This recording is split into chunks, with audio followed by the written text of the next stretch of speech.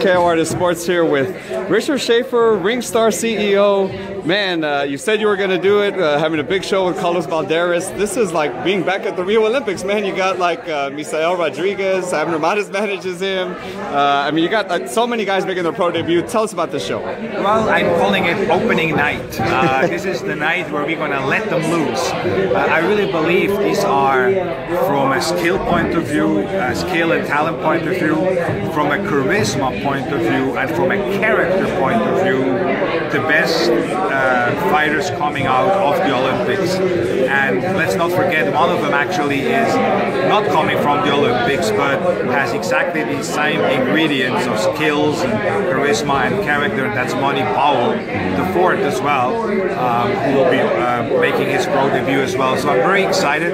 I was waiting for that. I believe that we are going to see on April the 9th uh, some, maybe all of them, uh, fighters which are which we're going to be following for many years to come, and which are really going to be carrying our sport. Well, so what is it? Obviously, your your company's new, um, but you've been in the business for forever. So when looking at fighters to sign, what is it like? is there a certain style of fighters you're looking for like in the ring is it a character is it everything what, what is it um, you know having been uh, involved in boxing now for for 17 years or so. You sort of like live and learn. When i came to realize that talent alone is really not the only factor. It's one of the factors. It's an important factor. But in the past i signed fighters with great skills with great talent. But then they didn't have the discipline or their, their, character to really ultimately com com convert that talent into success uh, in the ring. Um, they didn't have the character because they were hanging around the wrong people. Um, so they didn't have the charisma.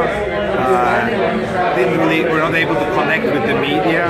Uh, so I am I am looking at, at skills, talent, the character, and the charisma as equally important.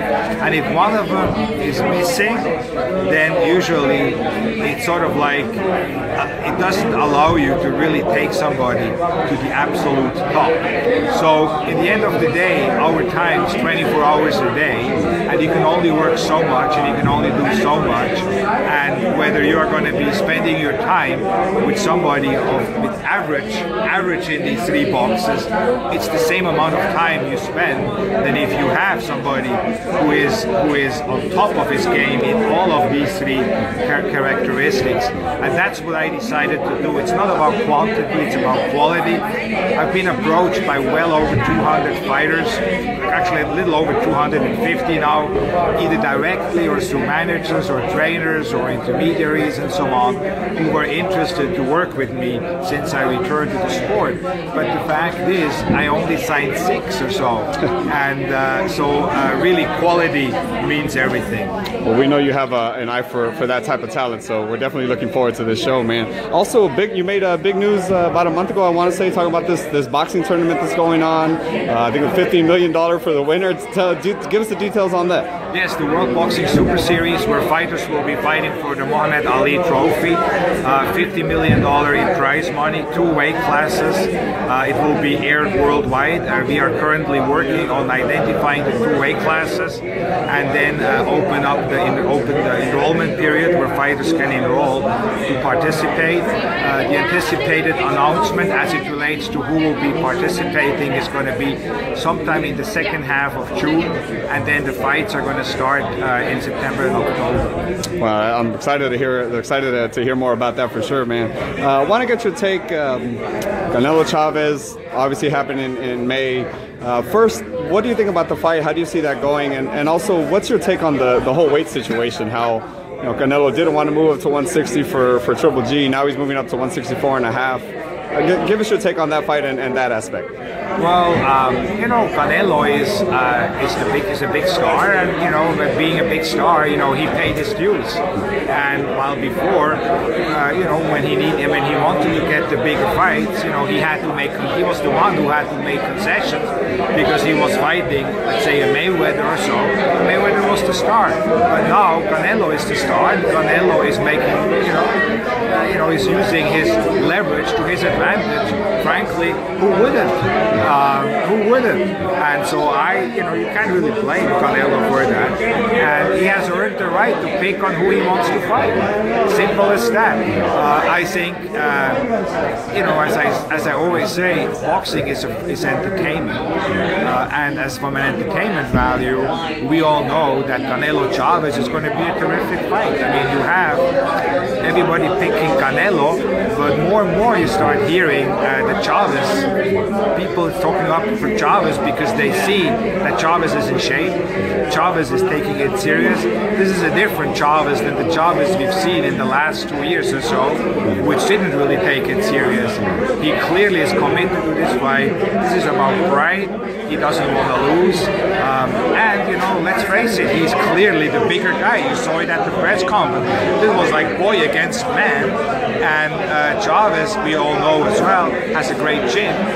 He can punch. And Canelo hasn't really been tested, you know. So it'll be an interesting night. And lastly, uh, everyone, I've, I've, noticed everyone's been asking you this lastly, but uh, uh Mayweather, Conor McGregor, uh, it's obviously a great business sense. It, it, makes sense, of course. It's a lot of money. But as a fight fan, just kind of what are your thoughts?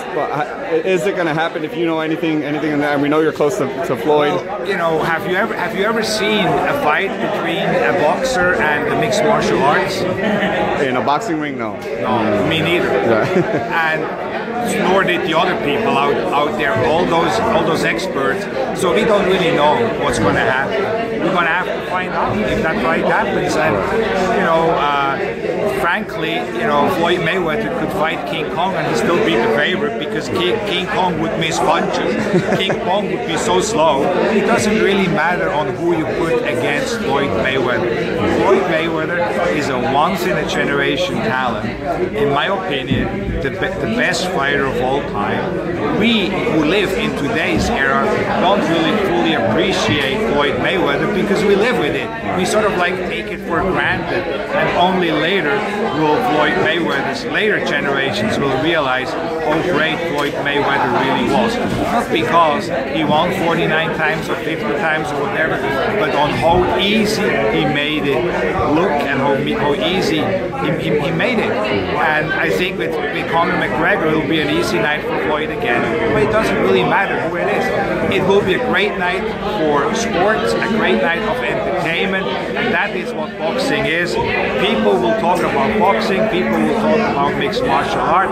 Some people might gonna say it's a circus, others are gonna, uh, but you know what, in the end, everybody is still gonna watch it and everybody is still gonna buy it. So, you know, from an entertainment point of view, I'd love to see it. Well, uh, April 9th, FS1, 6 p.m., the show at the Novo in downtown. Thank you so much, for the Thank time. Appreciate much. it. Thank, Thank you. you.